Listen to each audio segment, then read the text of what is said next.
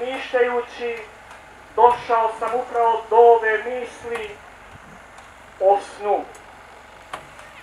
Čuli smo na početku svetog misnog slavlja da blagdan Gospe Snježne počiva na legendi da u osmom mjesecu padne snijeg u Rimu, nezamislivo je.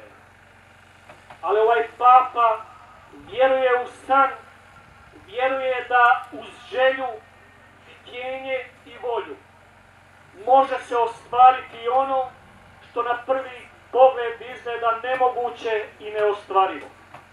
Dan pobjede. Duga stoljeća taj isti narod vapio je i sanjao, težio i čekao, iščekivao i nikad nije prestao sanjati o toj svojoj vlasti i toj domovi. Stoljećima je sanjao i čekao.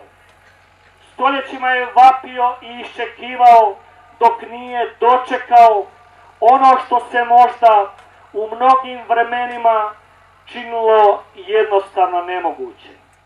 Danas smo ovdje između ove dvije planine na ovoj prekrasnoj visoravni i gledamo ovu prekrasnu crkvicu ovdje sagrađenu i divimo se da je ona tu. Draga braćo i sestre, i ona je nečiji san. Ovdje nazočni frapetar sanjao je, ostavio dobar dio svog života ovdje na planini i ovoj planini vratio i dao dušu i sanjao je da na ovom drevnom misištu treba sagraditi vidljivi znak koji će ostati za pokoljenja da je ovdje fratar i narod zajedno trpio i žegu dana i teret zime. I upravo to, u tu zahvalnost i zahvaljujući tom frapetrovu snu, mi smo danas ovdje pred ovom prekrasnom crkvicom još su nam jako svježe uspomene ovih velikih sportskih uspjeha naše nogometne reprezentacije. A riječ koja se najčešće čula posebno iz usta izbornika je bila riječ ostvarili smo naš dugo očekivani san. Draga braćo i sese, da nije bilo cilja, da nije bilo želje, da nije bilo htjenja, da nije bilo volje, taj san se vjerojatno nikada ne bi ostvario. Je li možda razlog da smo prestali sanjati? Je li možda razlog da smo se prestali nadati? Je li možda razlog da smo prestali očekivati da i nemoguće može postati moguće? Draga braće i sestre, budućnost pripada onima koji vjeruju u snove, koji vjeruju da nikad nije gotovo, koji vjeruju da se nemoguće može pretvoriti u moguće. I evo, to je ona poruka koju s ovog mjesta želim uputiti svima vama. Nikada ne prestanite sanjati. Nažalost, danas vidimo većinu polja neobrađenoga i ako upitamo zbog čega je to tako, većina vas će odgovoriti to se ne isplati raditi.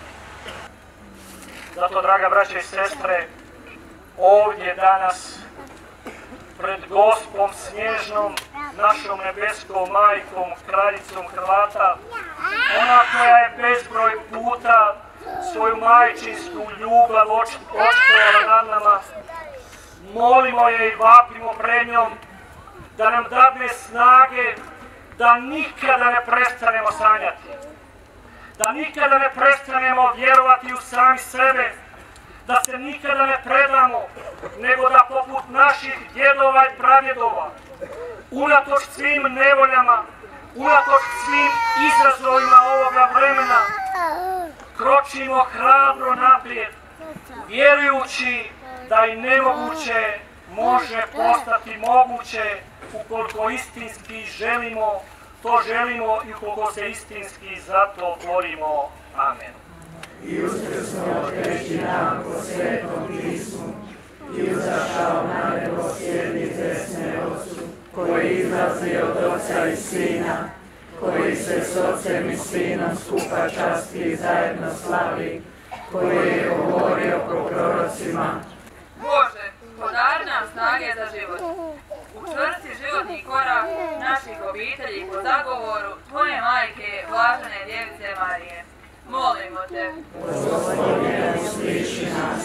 Opet za pokojne Gigicu, Ivu i Stanka, molimo te. Gospodine, usliši nas. Za pokojne Grgu i Ružu, molimo te. Gospodine, usliši nas. Krug naš svakdanji daj nam danas i otpusti nam duge naše.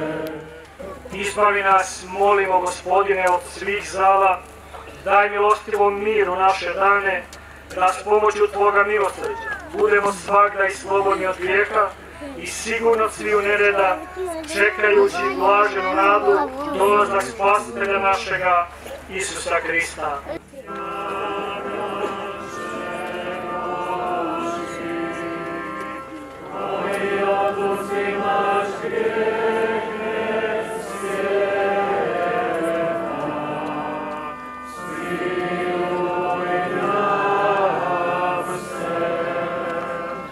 Evo jaganjca Božijeg, evo onoga koji oduzima grijehe svijeta, blago onima koji su pozvani na gozbu jagančevu.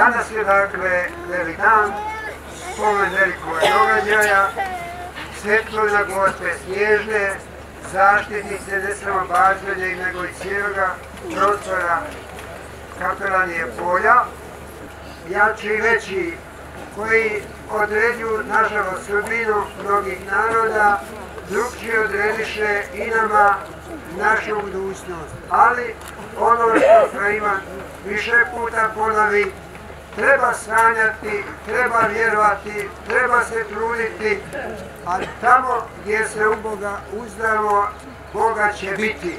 Hercegovačka Franjevačka provincija imala teške trenutke u svom životu. Imala je trenutaka kad ju je trebalo ugasiti, nismo nikad znali zašto. Iz povijesti znamo da je oko 1860. godine generalni definitor bio pokojni naš pratar Augustin Zubac. 1939. do kraja rata drugog bio je Radominik Mandić, generalni definitor i generalni ekonom reda. Hvala vam da ste odvojili vrijeme i da niste zaboravili ovo drevno mislište i da nadam se nikada u vama neće umrijeti nada, da u vama nikada, da nikada nećete prestati sanjati, da je nemoguće moguće pretvoriti u moguće i da je sve ono što nije dobro moguće učiniti bolje.